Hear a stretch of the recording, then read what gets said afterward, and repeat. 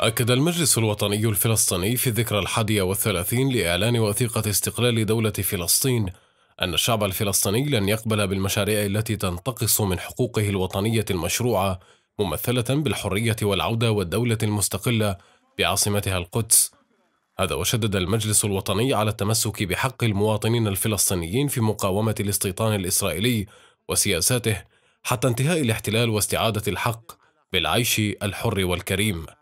هذا وتلقى الرئيس الفلسطيني محمود عباس برقيات من عشرات رؤساء الدول حول العالم تهنئة باستقلال دولة فلسطين، معربين عن تضامنهم الكامل مع الشعب الفلسطيني في مطلبه العادل بإقامة دولة مستقلة وفق قرارات الشرعية الدولية. فإن المجلس الوطني يعلن باسم الله وباسم الشعب وباسم الشعب العربي الفلسطيني. قيام قيام دولة فلسطين فوق أرضنا الفلسطينية. بهذه الكلمات أعلن الزعيم الراحل الشهيد ياسر عرفات استقلال دولة فلسطين من العاصمة الجزائرية قبل 31 عاما وقامت 105 دول حول العالم بالاعتراف بهذا الاستقلال لينتشر السفراء الفلسطينيون في الدول التي اعترفت باستقلال دولة فلسطين. وثيقة الاستقلال الفلسطينية خطها الشاعر الفلسطيني الراحل محمود درويش وألقاها الشهيد أبو عمار أمام المجلس الوطني الفلسطيني الذي انعقد في الخامس عشر من نوفمبر من العام 1988 وشكل إعلان استقلال فلسطين انعطافا في سياسة منظمة التحرير الفلسطينية التي اعتمدت قرارات الأمم المتحدة بشأن السلام مع التمسك بالقدس عاصمة للدولة الفلسطينية وفي العام 2012 حصلت فلسطين على صفة دولة مراقب غير عضو في الأمم المتحدة عندما صوتت الجمعية العامة للأمم المتحدة لصالح رفع مستوى التمثيل الفلسطيني في المنظمة الدولية بتأييد 138 دولة لصالح مشروع القرار. ويحيي الفلسطينيون ذكرى الاستقلال فيما يستمر الاحتلال في رفع وتيرة البناء الاستيطاني في الأراضي المحتلة، ويزيد من تضييق الخناق على المشروع الوطني الفلسطيني الساعي لنيل الاستقلال التام وإنهاء الاحتلال. كل ذلك بدعم من الإدارة الأمريكية التي اعترفت مؤخرا بالقدس المحتلة عاصمة لإسرائيل في خطوة مخالفة لمواثيق الشرعية الدولية. تبقى أمام رئيس تحالف كحول لافان بني جانتس أسبوع واحد قبل انتهاء مهلة تشكيل الحكومة الإسرائيلية أو إعادة تفويض تشكيل الحكومة إلى الرئيس الإسرائيلي. ويأتي ذلك وسط تضاؤل فرص تشكيل حكومة وحدة إسرائيلية الأمر الذي سيدفع البلاد إلى جولة ثالثة من الانتخابات. ولم يحرز جانتس أي تقدم ملحوظ في مفاوضات تشكيل الحكومة حتى الآن بسبب إصرار ليبرمان على تنفيذ مطالبه وتعنت حزب الليكود على التفاوض باسم تكتل أحزاب اليمين. ووفق القانون الإسرائيلي فإنه في حال إعادة تفويض تشكيل الحكومة للرئيس الإسرائيلي روفن ريفلين فإن التفويض سيمنح لعضو الكنيست الذي سيحصل على أكثر من 61 توقيعا من أعضاء الكنيست لتشكيل الحكومة القادمة. تشير استطلاعات الرأي الإسرائيلية الصادرة مؤخرا إلى أن انتخابات ثالثة في إسرائيل ستؤدي إلى نفس النتائج الحالية وستفضي إلى ذات الأزمة السياسية المتمثلة بفشل أي طرف بتشكيل الحكومة الإسرائيلية الخامسة والثلاثين. وأظهر آخر استطلاع للرأي نشرته صحيفة إسرائيل هيوم أنه لن ينجح أي معسكر بالحصول على 61 عضوا حيث سيحصل معسكر المركز واليسار على 45 مقعدا في الكنيست مقابل 53 لمعسكر اليمين. وبين استطلاع الرأي تراجع شعبية نتنياهو بعد أن كانت استطلاعات الرأي تشير إلى فارق كبير لصالحه في اختيار الجمهور الإسرائيلي للشخصية الأفضل لرئاسة الحكومة حيث تقلص الفارق بينه وبين جانتس إلى 2% فقط.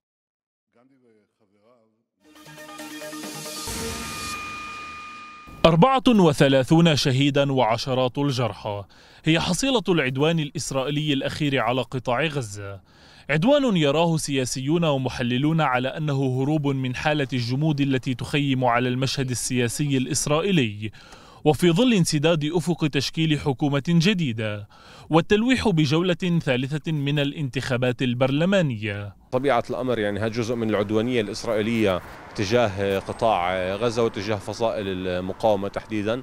الشق الآخر لا يقل أهمية هو الشق السياسي الداخلي أي توظيف نتنياهو عينيا لهذا العدوان في سياق محاولات تشكيل الحكومة واحتمالات بيني جانس في تشكيل حكومة أخرى حيث يعني يتم الحديث في الأيام الأخيرة عن أن هذا هذه العملية لم تغتل فقط بهاء أبو عطا وإنما اغتالت إمكانية غانز في تشكيل حكومة بدون الليكود عمليا. يجمع المواطنون العرب في الداخل الفلسطيني على رفضهم الشديد للعدوان الإسرائيلي على غزة ويحملون مسؤوليته بالدرجة الأولى لرئيس الحكومة بنيامين نتنياهو الذي يسعى على حد تعبيرهم للخروج من مأزقه السياسي والقضائي من خلال سفك المزيد من الدم الفلسطيني. كل قاعد بيصير هو هدم دم فلسطيني اللي عم بيصير كل يوم بكل محل.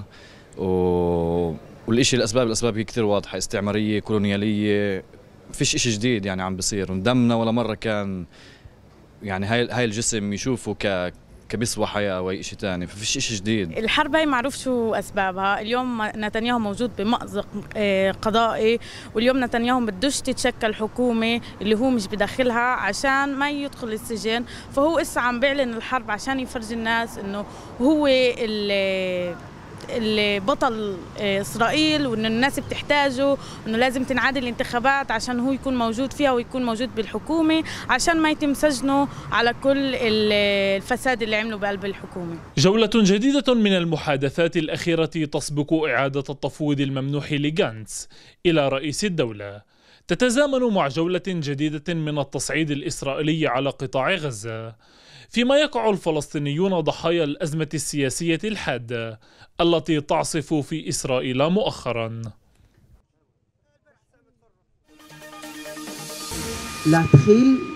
في بيت الضيافة زعفران بمدينة رهط تم استضافة العالم الرئيسي بوزارة الاقتصاد الذي كشف النقاب عن أن ثلاثة بالمائة فقط من العرب في البلاد يعملون في مجال الهايتك שמהנדסים ערבים יקבלו נתח גדול יותר מההייטק, היום הם שלושה אחוז בתוך ההייטק, למרות שבאקדמיה הם 22 אחוז כמו הנתח באוכלוסייה, והסיכוי לזה הוא גדול מאוד. מכיוון שהיום התעשייה הישראלית צריכה את המהנדסים הערבים أنا حسب رأيي مدارسنا تعليمها للمواضيع العلوم هو بالمستوى أقل من المستوى المطلوب للجامعة. إذا إحنا بنلاحظ أن في عندنا أولاد اللي أو طلاب اللي بيلتحقوا في الجامعة مطلوب إذا هو يتعلم هندسة مطلوب يكون خمس وحدات رياضيات وخمس وحدات فيزياء. عدد المدارس اللي في عندها هذا التعليم أو مستوى هذا الإرشاد قليلة إضافة مطلوب تفكير رياضي بمستوى اللي هو ملائم لل لل للكليات الهندسة والجامعة. إحنا بحاجة نطور مش بس علامات وتخنكت في الرياضيات. إحنا بحاجة أن نطور مهارات تفكير الملائمة لصناعة الهايتك والعلوم المتطورة. الحضور من رؤساء سلطات محلية ورجال أعمال ومسؤولين من شركات اقتصادية. أشاروا إلى أن الوزارة بحاجة إلى القيام بتمييز إيجابي لافتين إلى المجهود الكبير الذي تقوم به جمعية سراج. بهدف تشجيع دراسة الهندسة والعلوم الدقيقة في الجامعات إحنا كثير يعني بيسعدنا في هذه الفرص وهذه الموارد بيظل علينا إن نوصل الأولاد اللي هم في مراحل الثانوية يستوعبوا إن في فرص لهذا لهذا المجال. اليوم طبعا تعلمنا إن هنالك أموال كثيرة وطائلة لتطوير موضوع التكنولوجيا في الوسط العربي ونحن لا نستغل هذا المشروع. ولذلك في في عندي فكرة أنه نكمل التوعية داخل المدارس والطلاب المدارس أيضا لرفع مستوى الدراسات في هذا الموضوع التكنولوجيا لأنه في في هذا المجال هنالك مستقبل كبير جدا لأبنائنا. يشار إلى أن هناك نقصا يصل إلى نحو ثمانية آلاف مبرمج وأن المعطيات تشير إلى أن عدد الطالبات في مجال دراسة علوم التكنولوجيا أعلى من عدد الطلاب.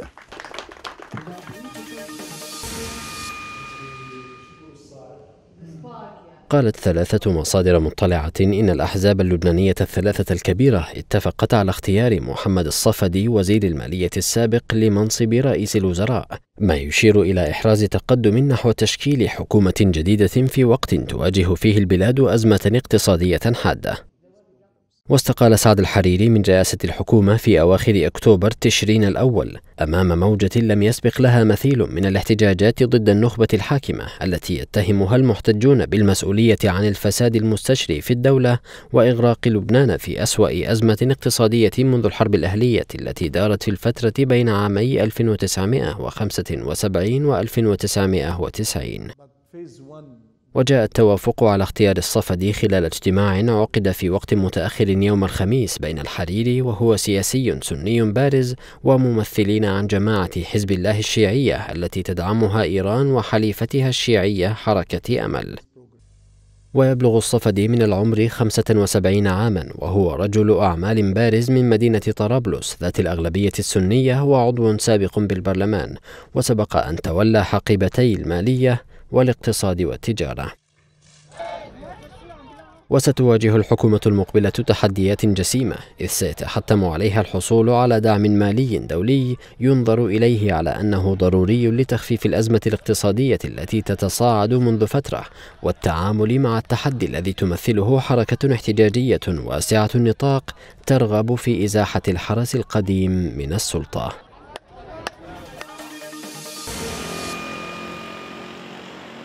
بدأت إيران تقنين توزيع البنزين ورفعت أسعاره يوم الجمعة مع قول مسؤول إن حصيلة ذلك ستستخدم في تمويل دعم 18 مليون أسرة محتاجة وفقا لما ذكره التلفزيون الإيراني. وقال التلفزيون إن سعر لتر البنزين العادي سيزيد إلى 15 ألف ريال أو ما يعادل نحو 12 سنتا أمريكيا من 10 ألاف ريال. وإن الحصة الشهرية للسيارة الخاصة تحددت عند 60 لترا في الشهر. وسيبلغ سعر أي مشتريات إضافية 30 ألف ريال للتر. وقال محمد باقر نوبخت مدير منظمة التخطيط والميزانية في تصريحات للتلفزيون الرسمي إن حصيلة زيادة الأسعار ستستخدم لتمويل دعم إضافي يستهدف 18 مليون أسرة أو نحو 60 مليون شخص. لكن الإيرانيين عبروا عن استيائهم إزاء هذه الزيادة التي قالوا إنها ستؤثر على شتى مناحي الحياة ومن بينهم موظف يدعى داوود طيبي. سيزداد الموقف سوءا. كانت أسعار الوقود عشرة ألاف ريال والآن أصبحت ثلاثين ألف ريال. وبالتالي ستزيد أسعار كل السلع بما فيها المواد الغذائية. ستتدهور الأوضاع الاقتصادية للناس ولن تتحسن لكن ذلك سيصب في صالح الحكومة لأن عائداتها من الوقود ستتضاعف إلى ثلاثة أمثالها. وأسعار البنزين في إيران من أرخصها في العالم بسبب الدعم الكثيف وتراجع قيمة عملتها. لكن البلد يكافح تهريبا متفشيا للوقود إلى الدول المجاورة. ورغم احتياطياتها الضخمة من الطاقة تجد إيران صعوبة منذ سنوات في تلبية الطلب المحلي على الوقود بسبب نقص السعة التكريرية وعقوبات دولية تحد من توافر قطع الغيار اللازمة لصيانة المجمعات.